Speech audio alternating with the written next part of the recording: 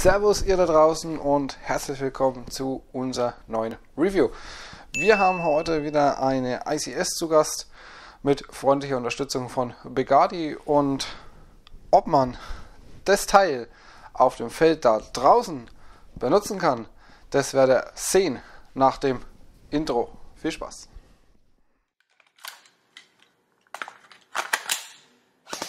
Wer hat den dicksten?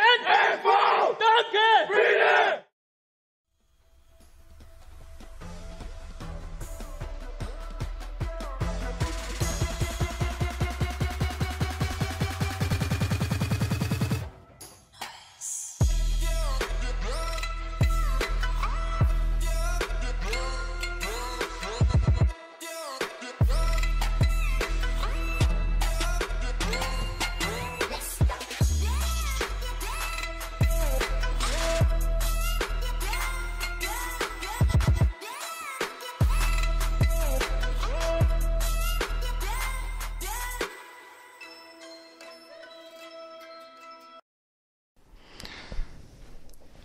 Beginnen wir wie immer, wie die Waffe zu euch kommt. Die Waffe kommt in dem, wie ihr schon gesehen habt, einfach schwarzen ICS-Pappkarton.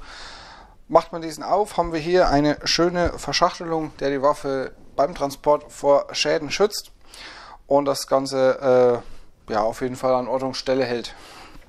Wir haben ebenfalls dabei, bei euch jetzt zum Beispiel, kommt ein kleines Päckchen Kugeln und zwei Sicherungen dabei. Bei unserer Review-Waffe war das jetzt nicht der Fall, aber bei euch ist es dabei. Sollte es nicht dabei sein, einfach mal Begani anhauen. Die helfen euch da bestimmt weiter. Wir haben ebenfalls dabei eine Bedienungsanleitung, die ich euch kurz mal einblende. Da drin ist beschrieben auf verschiedenen Seiten, wie man den Akku einlegt, wie man das Hop-Up einstellt, wie man das Magazin schussfertig macht, wie man äh, die Waffe zerlegt und am Schluss haben wir auch noch eine kleine schöne Explosionszeichnung. Ähm, Finde ich immer recht schön, weil man so einfacher oder nachvollziehbarer die Waffe zerlegen kann. Kommen wir nun zurück zu unserer Waffe. Was ist dabei noch? Wir haben auf jeden Fall ein Magazin. Ne, halt. Ihr, ihr seht schon, es sind zwei Magazine dabei. Jedoch ähm, 470 Schuss High Cap. Passende Low Cap Magazine gibt es bei Begadi. Überhaupt kein Problem. Verlinke ich euch unten in die Videobeschreibung. Gut. Ähm, ansonsten gehen wir jetzt mal in die Aufnahmen. Fangen wir wie immer von vorne nach hinten an. Wir haben einen sehr schön gefertigten Außenlauf aus Metall, versteht sich natürlich schraubt man hier den Mündungsfeuerdämpfer ab. So kommt ein 14 mm Negativgewinde zum Vorschein zum Anbringen zahlreicher Mündungsfeuerdämpfer, Schalldämpfer, was auch immer ihr wollt. Äh, Stahlteile haben wir hier auch verbaut und zwar haben wir hier den, die Aufnahme für das Zweibein ist aus Stahl. Dann haben wir die Befestigung für das Korn, ebenfalls aus Stahl gefertigt und dieses lässt sich auch schön umklappen. genau. Und dann hat man innen eine feinere Visiereinrichtung. Machen wir weiter mit dem Hauptgehäuse. Wir befinden uns in der Mitte von der Waffe. Nochmal kurz zum Rail-System. Wir haben hier ein kompletten Kunststoff, äh, komplettes Kunststoffgehäuse äh, vom Frontset wie man dieses entfernt bzw. den Akku dann einlegt, sagen wir noch, noch im Technikbereich. Wir konzentrieren uns jetzt erstmal auf das Hauptgehäuse von dem Ganzen. Wir haben hier das komplette Hauptgehäuse aus Aluminium-Druckguss gefertigt, also auch nicht magnetisch. Ihr seht bloß die kleinen Teile, was drin sind, ziehen den Magneten jetzt an. Wir haben hier den Pin, Metall, äh, Stahl. Wir haben innen die Verriegelung aus Stahl und die Verriegelung vom Feuerwachhebel, zahlreiche Pins und natürlich wieder die Befestigung von der Kimme. Äh, was gibt es dazu zu sagen? Ganz einfach, der Feuerwahlhebel ist gut erreichbar und rastet auch schön und bequem ein. Da kann man überhaupt nicht meckern. Die Top Rail hier oben ist also aus Aluminium gefertigt und kann man da zahlreiche Optiken anbringen. Wir haben auch das äh, Feature, dass wir den Durchladehebel demontieren können. Dazu einfach hier innen drin nach unten drücken und dann kann ich das rausziehen, ähm, um beim Anlegen oder bei sonstigen Aktivitäten einfach ein besseres äh, Gefühl dafür zu haben, weil wir finden, der steht schon sehr arg raus im Vergleich zu anderen Waffen. Ähm, dann haben wir natürlich noch ein Gimmick, was ähm, Six Hour typisch ist, ähm, den Abzugsbügel lässt sich zur Seite klappen. Damit ermöglicht, ermöglicht mir das auch mit dickeren Handschuhen die Waffe schön zu bedienen. Diese ist auch aus, Alum, also aus Blech gefertigt, also wie gesagt, bleibt der Magnet hängen. Und ja, alles im Allen haben wir hier kaum Spaltmaße beim Hauptgehäuse, es sitzt alles bombenfest. Da kann man echt nicht meckern. Was ich jetzt noch ansprechen will, ich hoffe es klappt, ich hoffe das hält das Ding, ähm, ist der äh, Durchladehebel. Moment, haben wir gleich.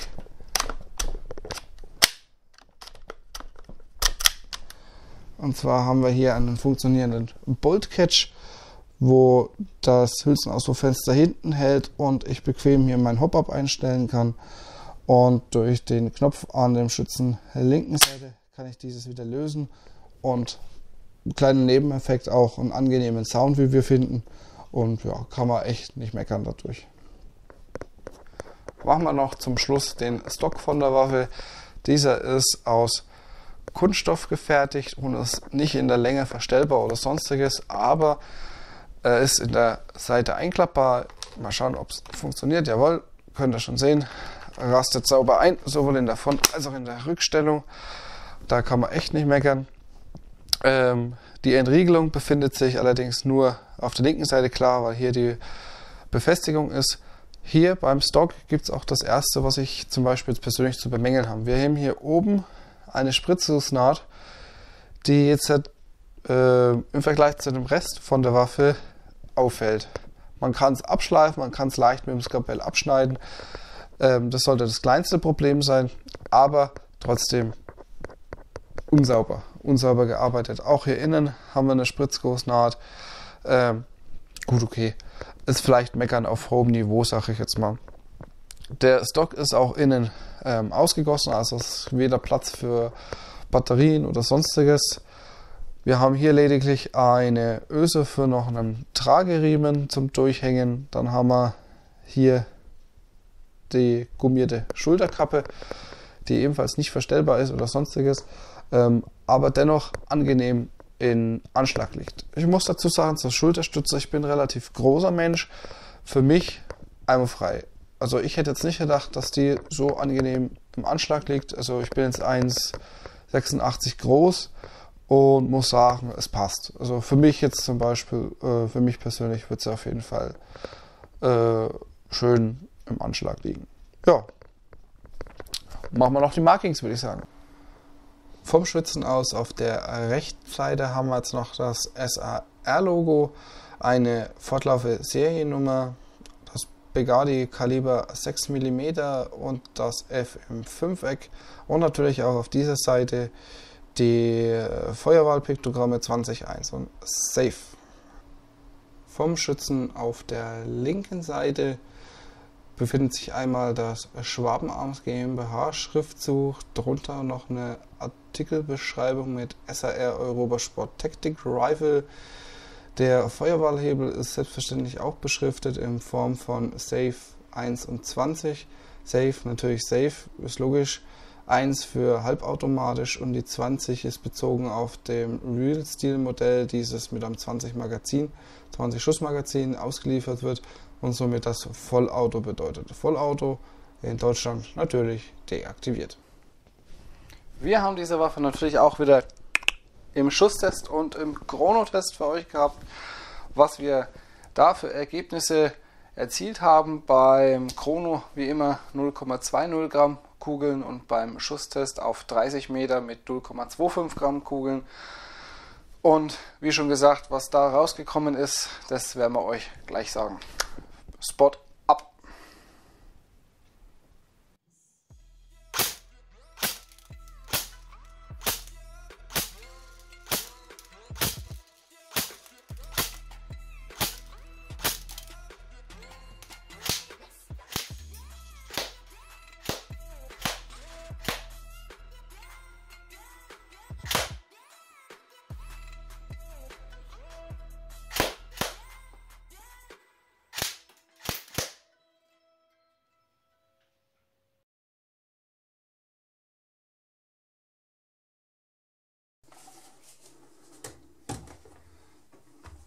So Leute, wir zerlegen jetzt die ICS, SAR, Tactic, Rifle oder auch SIG 551.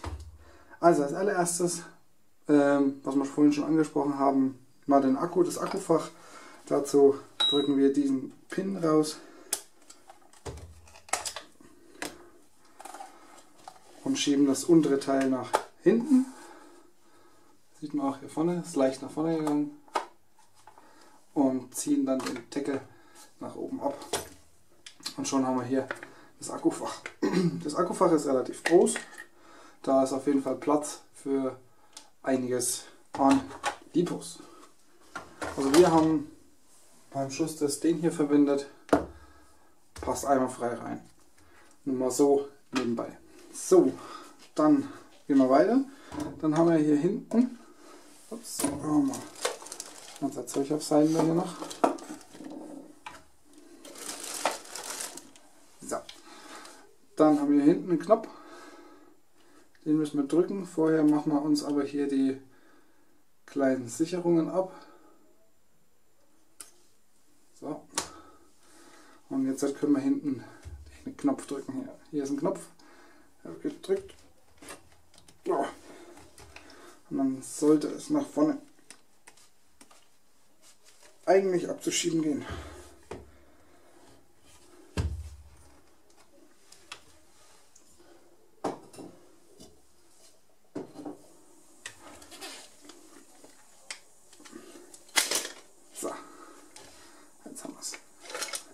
bisschen leicht anschrägen beim runterziehen und dann geht das Ding auch runter.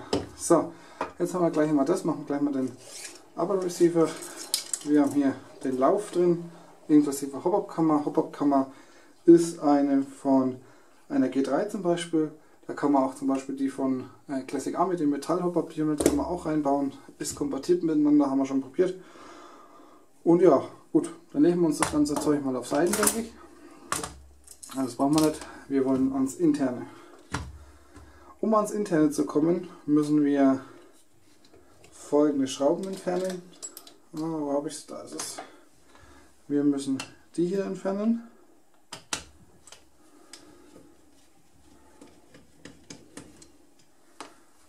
Auf Seite. Dann auf der anderen Seite die noch. Legen wir es auch weg. dann könnte man das nach hinten schon rausziehen. Geht bei uns jetzt nicht, weil wir noch die untersten Schrauben drin haben. Die machen wir auch noch schnell raus, also die Motorschrauben. Der Griff der muss runter. Dann tun wir die Verkabelung lösen und den Motor rausziehen. Hier, was seltenes, wenn es nicht jeder kennt zum Beispiel, das ist ein ICS 3000 Medium Type, also Medium Größe, relativ selten in der Verarbeitung. Mir ist es nur bewusst von der PSG 1 noch zum Beispiel, von Marui, die haben die auch, äh, die Medium Type Motoren. Ansonsten fällt mir jetzt nichts ein. Wenn jetzt jemand noch äh, weiß, wo noch Medium Type verbaut sind, einfach unten haut mal in die Kommentare. Das würde mich auch interessieren. So, dann hauen wir noch schnell den Griff runter.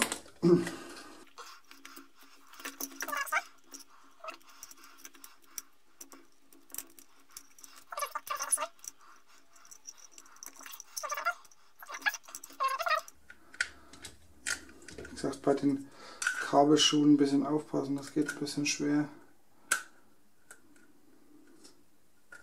So, haben wir das auch weg. Jetzt können wir das nach hinten abziehen, den Schaft. Legen wir uns auch auf Seite. Jetzt haben wir schon fast die, die Gearbox äh, vor der Nase. Wir müssen jetzt noch die Kabelführung hier wegschrauben. Das ist ein sehr, sehr kleiner Kreuz. Ich hoffe, der passt. Jawohl. Aufpassen, die Schrauben sind wirklich klein. Das ist der Kabel, Kabelkanal. So, haben wir das auch weg. Und dann haben wir den Feuerwehrhebel, der muss hier unten noch raus. Und hier die Schraube Die Schraube machen wir gleich mal.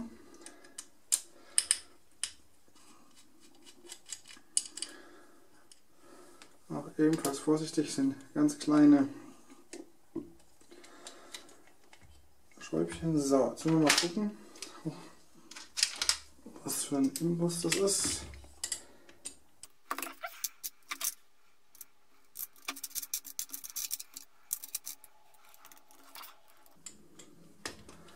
Braucht er nicht komplett rausschrauben. Vorsicht, hier ist noch eine Feder. Also hier oben drin liegt eine Feder. Es ist federgelagert. Aufpassen. Könnt ihr drinnen lassen, wenn ihr vorsichtig seid. Dann lasst das drin.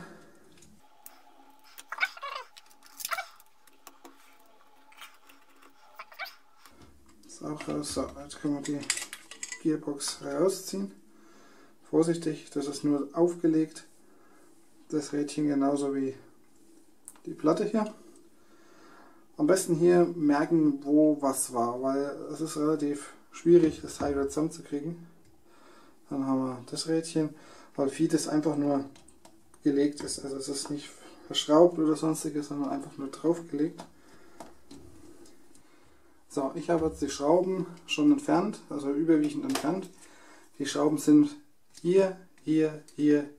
Das ist für den Anführungszeichen Käfig, Motorkäfig und hier. Dann haben wir oben noch ein kleines Blech drauf, V3 typisch. Einfach abziehen und dann hat sich der Käse gegessen.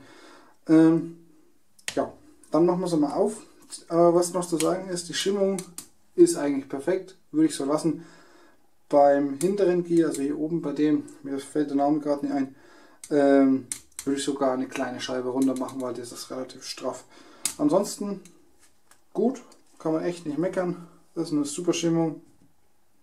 Alles sehr straff, vielleicht zu straff. Und ja, machen wir es mal auf.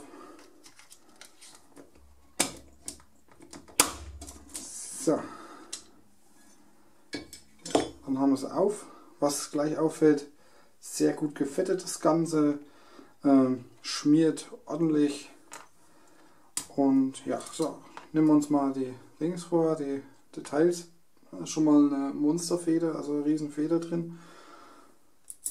Äh, werde ich mir dann schwer tun wieder beim Zusammenbauen. Äh, gut, dann gehen wir her.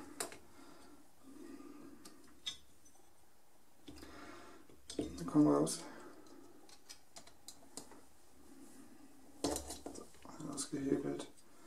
So, also Tablet Plate meines Wissens nach eine etwas abgewandelte, also keine Standard V3, sondern ein bisschen abgewandelt das Ganze. Nozzle sehen wir hier, kein O-Ring, normales Kunststoff. Ist aber, denke ich, okay. Kann man jetzt nicht viel dazu schimpfen. So, dann haben wir hier den ICS-Pisten inklusive Pistenhead. Mal gucken, ob der also den ICS Pisten hier nochmal, ich weiß nicht, ob man es gerade gesehen hat, ähm, dichtet super ab, kann man echt nicht meckern, also da geht nichts raus. Echt super von der Dichtigkeit her. Dann Gears, Standard ICS Gears, ähm, was für eine Übersetzung die jetzt haben, weiß ich nicht genau, ansonsten wenn es jemand weiß, haut es in die Kommentare rein. Äh, sind wie gesagt gut geschmiert, gut gefettet, da gibt es nichts zu meckern oder nichts zu beanstanden oder sonstiges. Standard V3 Switch. Hier steht das erste Ding an, wenn man sie äh, dauerhaft mit 11,1 Volt lieber betreibt. Ich weiß nicht, wie lange die Switch das mitmacht. Also angegeben ist sie Lipo Ready 11.1er. Äh, und ja, also ich denke mal, dass es auf jeden Fall ganzer Zeit ihren Dienst tun wird. Ansonsten, äh, ich werde es zum Beispiel so machen, dass man von der Joule ein bisschen runter geht, also von der Energie, und sie dann mit 7,4 Volt betreibt. Ich habe dann weniger Verschleiß ähm, etc. Also wie gesagt, es bleibt aber jedem selber überlassen. An für sich ist alles sehr gut. Die Shell ist stabil gebaut. V3 ist eh so eine Shell, die relativ selten bricht. Ähm, ja, das Einzige, was ich jetzt hier zum Beispiel kritisieren würde oder was man verbessern könnte, wäre zum Beispiel, dass man hier Stahlzahnpisten reinmacht und vielleicht hier vorne das, den Zylinderhead ähm, vielleicht sogar tauscht oder abdichtet nochmal, was ich aber jetzt eigentlich nicht nötig finde, weil es ja von Haus aus sehr dicht ist. Gut, wie gesagt, das war's äh, von hier. Ähm, machen wir weiter mit dem Fazit. So, haben wir alles durch. Technikpart ist auch abgehakt. Gehen wir nun zum Fazit von der guten Waffe. Die Waffe ist auf jeden Fall für 380 Euro eine Menge Geld. Wie ich finde, jetzt zum Beispiel als Familienvater ist das doch relativ viel Kohle. Aber man bekommt hier eine super verarbeitete Waffe, eine vor allem funktionierende Waffe, aus dem Karton raus, Akku ran, los geht's. Ähm, kleinere äh, Mankel oder Mankos finde ich jetzt zum Beispiel prinzipiell überwiegend eigentlich der Motor. Weil wie gesagt, der ICS hat zwar Power wie Sau, zieht auf Federn bis 170, schieß mich tot. Ähm, mit einem 11,1 Volt Lipo ist das überhaupt kein Thema. Da lacht er sich kaputt. Aber das ist natürlich auch ähm, eine Kehrseite der Medaille. Er frisst dadurch extremst Strom. Also, wenn ihr diese Waffe auf dem Spielfeld mitnehmt, auf jeden Fall mindestens, also ich würde jetzt mal sagen, wenn ihr viel schießt, sage ich mal 3000 Schuss am Tag, denke ich mal auf jeden Fall müsste drei Akkus einplanen mit ca. 1200 bis 1400 mAh plus minus, aber das müsst ihr selber sehen. Ähm, Alternativen dazu, wie im Technikpart schon angesprochen, natürlich einen Motor tauschen. Ähm, was noch angeboten wird, was man machen könnte, zum Beispiel ist von Begadi die Gearbox noch abdichten bzw. ein kleines MOSFET reinlöten lassen. Ähm, da sind die Preise von Begadi auch sehr moderat, müssen wir sagen. Da könnt ihr auf jeden Fall diesen Stromverbrauch reduzieren, wenn ihr das MOSFET euch für ein MOSFET entscheidet und dann läuft das Teil. Ähm, ansonsten habe ich jetzt nichts großartig Negatives an der Waffe gefunden und ähm, kann sie somit euch klar empfehlen. Ähm, genau. Jetzt hat noch was in eigener Sache und zwar wird 2018 ein bisschen, ein bisschen sich was ändern. Und zwar werden wir einen neuen äh, Reviewer mit äh, einbinden. Ähm, da wird das erste Video dann irgendwann Anfang Mitte Januar kommen.